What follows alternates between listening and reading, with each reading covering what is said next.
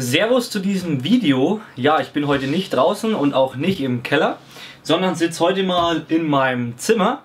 Und zwar gibt es heute ein ganz kurzes Video. Und zwar möchte ich euch einfach mal meine persönliche Meinung ja, zum Gabel- bzw. Dämpferservice mitteilen. Und zwar ja, gibt es ja viele Meinungen, die da ziemlich weit auseinandergehen, sage ich mal. Ich möchte euch jetzt einfach mal ein paar Erfahrungen, die ich halt mit Dämpfern oder Federn erlebt habe, mitteilen und dann einfach mal auch sagen, was die Hersteller meistens empfehlen und dann auch einfach mal drüber reden, was macht denn jetzt wirklich Sinn und was macht denn jetzt keinen Sinn. Ich habe hier jetzt übrigens auch mal vom Tilo die alte Gabel liegen. Die hat zum Beispiel auch keinen Service bekommen. Und bei der Gabel jetzt zum Beispiel merkt man schon äh, beim Einfedern und auch hier an den Rohren ist hier schon Dreck dran.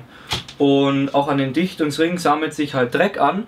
Und das ist halt ein Zeichen darauf hin, dass die Gabel halt schon langsam mal einen Service braucht. Und man merkt halt auch beim Einfedern, dass die Gabel dann, sage ich mal, nicht mehr so schön anspricht und einfach ein anderes Fahrverhalten aufweist. Und wenn das halt eben passiert, also wenn man merkt, okay, die Gabel, die sifft irgendwie ziemlich oder schmatzt oder ich habe halt immer Dreck an den Dichtungen und es federt einfach nicht mehr so, wie es mal war, dann ist es halt schon sinnvoll, mal einen Service zu machen. Wenn ihr aber zum Beispiel keine Probleme mit eurer Gabel habt und ihr fahrt und nach einem Jahr zum Beispiel ist die Gabel immer noch so wie am Anfang auch und ihr merkt, ich habe eigentlich nichts und es ist kein Dreck und ich fahre auch relativ oft, dann sage ich ganz persönlich immer, wieso sollte ich da einen Service machen? Was ihr auch immer noch ausprobieren könnt, wenn eure Gabel einwandfrei arbeitet und ihr euch eigentlich ziemlich sicher seid, dass ihr keinen Service braucht, bei den Fox-Gabeln zum Beispiel, das mache ich immer bei meiner Tellers oder bei der Float, könnt ihr das auch machen oder bei der Van.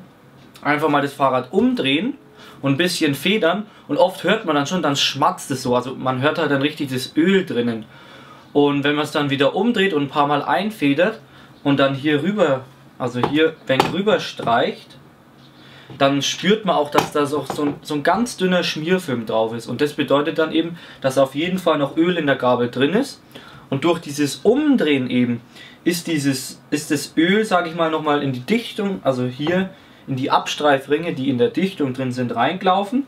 Und wenn man dann eben federt, dann haben eben die Standrohre wieder einen ganz dünnen Schmierfilm drauf. Und dann kann man sich sicher sein, dass noch genug Öl drin ist. Sollte es zum Beispiel nicht der Fall sein und es ist überhaupt kein Schmierfilm und ihr hört auch beim Einfedern irgendwie überhaupt nichts, kein Geräusch, dann könnte es natürlich schon sein, dass zu wenig Öl drin ist und dann wäre es trotzdem sinnvoll, wenn man Service macht. Dann gibt es natürlich noch die Ansicht, dass die Hersteller einfach sagen, ihr müsst nach der und der Zeit einen Service machen. Meistens wird es dann eben nach Fahrstunden angegeben oder eben ein bestimmter Zeitraum wird eingegrenzt, wo die empfehlen, in der Zeit sollte man Service machen. Ganz ehrlich, ich finde es eigentlich ziemlich uneffektiv. Ich sage es mal so, wenn es um die Garantie geht, und ihr ein sehr teures Fahrrad habt mit hochwertigen Komponenten, dann würde ich natürlich schon versuchen, möglichst auch die Garantie beständig zu halten, weil es kann dann zum Beispiel sein, wenn ihr den Service von der Gabel nicht macht, dass, er die, dass die Garantie eben verfällt und das wäre natürlich auch blöd. Aber ansonsten finde ich es einfach am besten, dass man den Service dann macht, wenn man merkt, okay, die Gabel spricht einfach nicht mehr toll an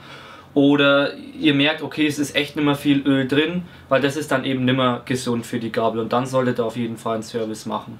Was ich auch noch ganz gern ansprechen würde, ist dann folgende Situation, wenn ihr euch zum Beispiel überlegt, mache ich den Service selber oder bringe ich es doch zu irgendeinem Händler oder zu irgendeiner Firma, die eben speziell für die Gabeln auch einen Service anbieten. Das ist eine schwierige Sache, sage ich mal. Kommt auch ein bisschen darauf an, was ihr für eine Gabel fährt. Fahrt. Zum Beispiel bei den RockShox Gabeln, da würde ich auf jeden Fall, wenn ihr ein bisschen, sage ich mal, handwerklich geschickt seid, dann würde ich den Service auf jeden Fall selber machen, weil bei RockShox ist der Service wirklich leicht und das sind, sage ich mal, auch nicht viele Spezialwerkzeuge, die man da braucht oder eigentlich fast keine. Also bei der Boxer wüsste ich jetzt nicht viele Teile oder ich wüsste eigentlich gar keins, wo man sagt, da brauche ich jetzt ein spezielles Teil für. Von daher, da bei den RockShox-Gabeln kann man den Service auf jeden Fall auch selber machen. Bei den Fox-Gabeln wird es dann allerdings schon komplizierter. Also die sind schon ein bisschen komplexer teilweise aufgebaut. Und da sind halt dann auch sehr viele kleine Teile dran, die sehr empfindlich sind, wo man ein bisschen aufpassen muss. Von daher, da wäre ich ein bisschen vorsichtig. Ich selber habe bei den Fox-Gabeln auch noch keinen Service gemacht, muss ich ehrlich gesagt zugeben. Bei meiner Tellus wird es jetzt aber trotzdem wahrscheinlich drankommen. Also ich fahre selber die Fox 36, die Tellus, also von 180 mm bis 140 Und bisher habe ich überhaupt keine Probleme. Also die Schmierung ist optimal und es ist definitiv noch genug, genug Öl drin. Und die Dichtungsringe wurden auch vor einem Jahr getauscht, also eineinhalb, wo ich die Gabel gekauft habe. Aber es sind halt trotzdem schon wieder jetzt eineinhalb Jahre vorbei und viele sagen halt, oh, und du fährst im Winter auch, das solltest schon mal einen Service machen. Bisher klar, bin ich der Meinung, macht es noch wenig Sinn, aber ich vermute mal, dass zum Ende diesen Jahres werde ich bei meiner dann auch mal einen Service machen. Ich werde ihn auf jeden Fall selber machen, wird es dann wahrscheinlich auch ein Video zu geben. Wo es auch noch ein Video zu geben wird, ist zu einem Service von der RockShox Boxer RC. Der Tilo fährt sie ja. Ähm, eigentlich sollte die, dieser Video dazu heute kommen. Wir haben das auch alles gefilmt, allerdings hatten wir ein sehr großes Problem mit unserem Mikrofon. Und daher können wir das leider heute noch nicht hochladen. Deswegen gibt es heute eben erstmal dieses Video. Aber der Boxer-Service wird voraussichtlich auch in den nächsten Wochen auf jeden Fall von uns hochgeladen werden. Kommen wir jetzt noch zum Dämpfer. Ähm, am Dämpfer traue ich mich persönlich überhaupt nicht ran. Ähm, ich habe mich auch noch nicht wirklich schlau gemacht, wie genau jetzt die verschiedenen Dämpfermodelle funktionieren. Ich weiß zum Beispiel bei meinem Dämpfer, bei dem Can Double Barrel, dass da der Service auf jeden Fall ziemlich schwierig ist, da da ja auch ich glaube, Helium drin ist. Ich weiß gar nicht genau. Auf jeden Fall traue ich mich das selber nicht zu machen und bei den Dämpfern würde ich dann auf jeden Fall trotzdem empfehlen, das zum Hersteller zu schicken oder eben zu irgendeiner professionellen Firma, die den Service anbieten.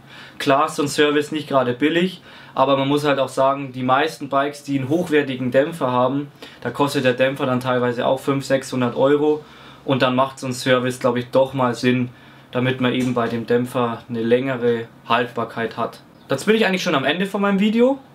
Falls euch noch irgendwas einfällt, was wichtig ist, ihr könnt es gerne in die Kommentare schreiben. Und ich hoffe, ich konnte euch ein bisschen helfen. Und dann sehen wir uns im nächsten Video. Servus.